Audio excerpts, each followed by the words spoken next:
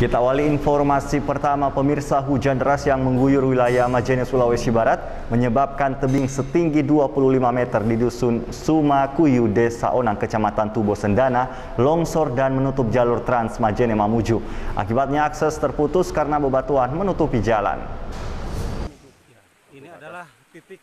Hujan deras yang terus-menerus mengguyur Kabupaten Majene, Sulawesi Barat dan sekitarnya menyebabkan tebing setinggi 25 meter di Jalan Poros Dusun Sumakuyu, Desa Onang, Kecamatan Tubo Sendana, longsor. Material longsor menutupi seluruh akses jalan penghubung Majene dan Mamuju hingga lumpuh total selama 3 jam. Ratusan kendaraan dari dua arah antri sepanjang 10 km.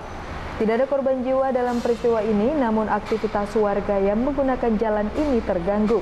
Untuk menghindari kemacetan lebih parah, pemerintah setempat mendatangkan alat berat ke lokasi longsor untuk membuka akses jalan dengan memindahkan material setebal 4 meter yang ada di badan jalan. Tinggal saya udah begini, udah hancur. Tinggal di mana lagi kalau saya?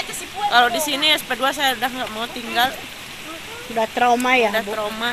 ya suatu kesyukuran buat kita karena ibu mampu lepas dari rumah itu keluar dari rumah itu menyelamatkan anak-anak kecil Hingga saat ini material longsor masih menimbun sebagian jalur lintas barat Sulawesi. Sementara petugas dari Bina Marga daerah setempat akan terus mengupayakan untuk melakukan proses pembersihan material longsor.